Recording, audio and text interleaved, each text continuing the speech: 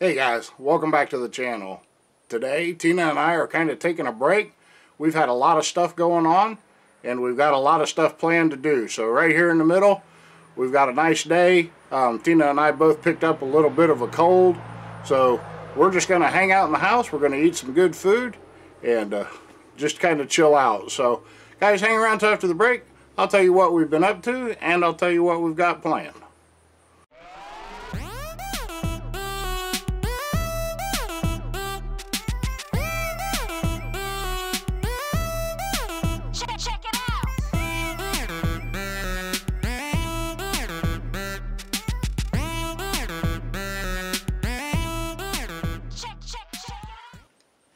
Alrighty guys, like I said, this is just going to be a quick little video, kind of filling the gaps here between uh, projects that we can show you on film. It's hard to come up with something interesting to show you every day, so we uh, usually release videos every other day, and we didn't want to leave a big gap in there.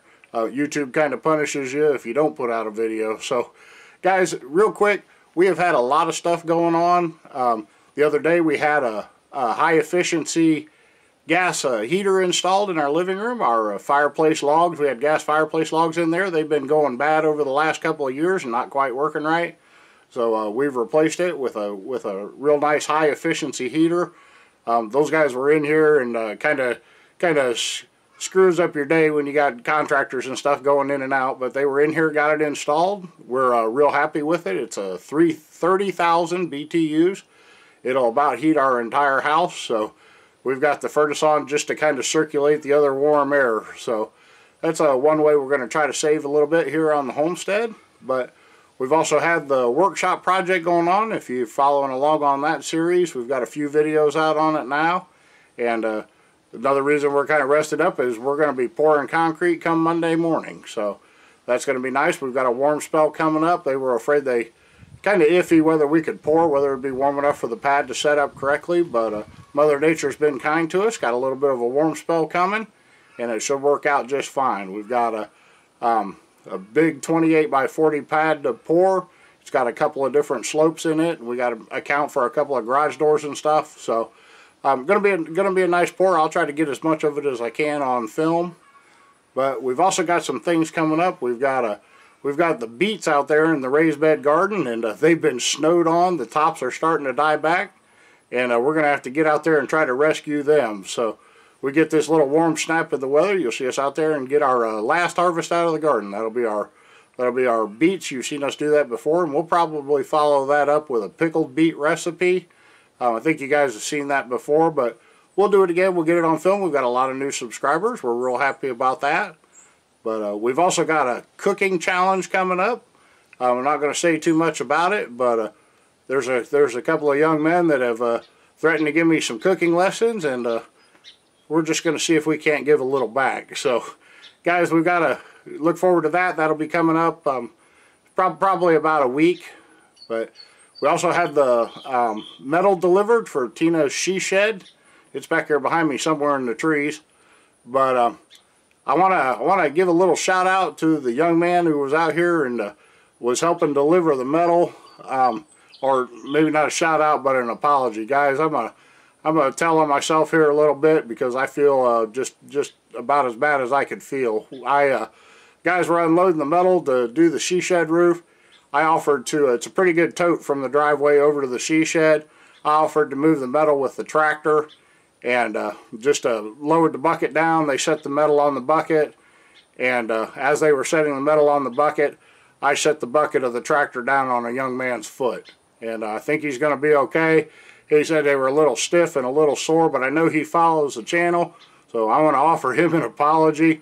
And to make it worse, you know, these kind of things just weigh on your mind. But uh, to make it worse, um, I saw the I saw the bucket hit his foot when it went down and the look on his face and when I reached for the lever I hit the lever the wrong way and set it all the way down on it. So guys that was a lot of weight on a young man's foot and uh, I couldn't feel worse about it. So I'm going to offer him a public apology. Maybe you could wish him some well wishes down there in the comments. I know he follows the channel. He's a recent subscriber since they started working out here.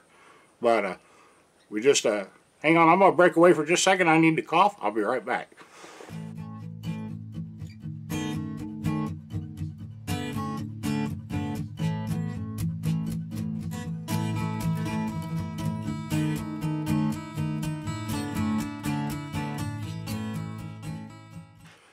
Alrighty guys, sorry about that. I needed to clear my throat real quick. But um, like I said, I want to offer him an apology. I feel I couldn't feel worse about it. And uh, these kind of things happen on a homestead, especially when you're working with heavy equipment. Please be careful. Please have the right safety equipment. Guys, it can happen just in the blink of an eye. I've run that tractor for hours and hours and hours. I could I could pull up the hour meter. You'd be amazed at how much time I've spent on a tractor. And guys, I still make mistakes. So, um, guys, wish wish the young man well. He's going to be fine, I believe. But uh, we're going to see him again on Monday when we go to pour concrete, and uh, I'll shake his hand then. But guys, he he left here with some sore toes. But some of the other things we got going on, we got a uh, we got the sweet potato beds. We're gonna we're gonna try to dress those up just a little bit before fall. We've got the other raised bed gardens. We need to get those cleaned up and raked out and uh, get them ready to just sit over the winter. We're not going to do too much with them in terms of uh, like a cover crop or covering them. But we're going to get out there too. We've got the garlic planted out there. We'll give you guys an update on that. It's a it's probably sprouted by now, but we're going to get out there, look underneath the straw, and see how the garlic's doing. We uh we did a regular plant on about a bed and a half, and a double planting on the other bed and a half. So it's going to be crowded in there. It's going to put that soil to the test. We're going to find out how it works out. But uh, we also had a, a, cherry tomato plant out there. If you guys followed along through the gardening season, Tina called it Chubs. But it was a little cherry tomato plant that ended up taking over the entire end of the raised bed garden. And uh, in its last hurrah, it dumped a bunch of little baby cherry tomatoes in its bed. And guys, all we've done is we've covered them up with a couple of inches of soil. And we're going to wait and see if that bed volunteers next spring. If we get any volunteer tomatoes out of there, we're just going to let it have the entire bed. And uh, if we do, Guys, we could probably can a year's worth of sauce just out of the cherry tomatoes. So, guys, that's just a little bit of what we got coming up and a little bit of what we've been working on. You know, there's all kinds of things. We got a lot of maintenance to do on the equipment, getting it ready for winter. I've got things that, um, part of why we're building that shop is I've got things I've got to get indoors and I get it away from the snow. But it's just going to be a, a lot of little busy work. None of it's really uh, would uh, qualify to be an exciting video. So, uh, I, it's going to take up some of my time. So we're going to try to do the best we can. For sure we'll get a video out on that concrete pour. And then uh, the guys will probably, while that cures up, it'll take it about a week to completely cure. And while that cures up, they're probably going to start work on the metal roof over there. I'm not really sure what their plans are. I don't want to obligate them to it, but uh, the, the metal's here, so I, I assume they're going to be uh, getting working on that here pretty quick.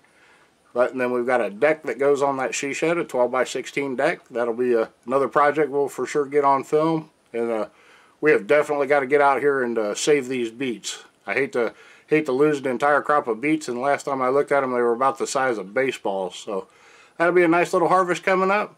But guys, we appreciate you coming and spending your time here on the channel. Tina and I are just going to rest up a little bit. Um, kind of take it easy for a few days. We'll get out there and film that concrete pour. But for right now, we just uh, kind of need a little bit of a break. We're going to take some personal time for us. And, uh, guys, that's, that's about all I got. Um, we appreciate you coming by the channel. Um, if you would, leave a thumbs up and a comment down below. For sure, uh, wish that young man well. I feel couldn't feel worse about setting that bucket on his foot. It's not funny. I, I laugh only because I don't know how else to react to it. But uh, if you would, wish him well. And uh, wish Tina well. She's uh, she's got the sniffles. And uh, Guys, we just we just need a few minutes to rest, and we'll be right back, bringing you all the all the content we can manage to get on film. So we appreciate you coming by the channel. Like I said, if you would hit the thumbs up and leave us a comment. If you're new here to the channel, we really appreciate it. We hope you'll subscribe. Down next to the subscribe button is a bell. If you'll ring that bell, that'll send you a notification whenever we release new videos. That's a great way to keep up with the channel, guys. But uh, Thank you for coming and spending your time with us. Tina and I will be fine. We're going to eat some good food and get some good sleep. But uh, we appreciate you coming on over to the homestead. And guys, we'll catch you in the next one.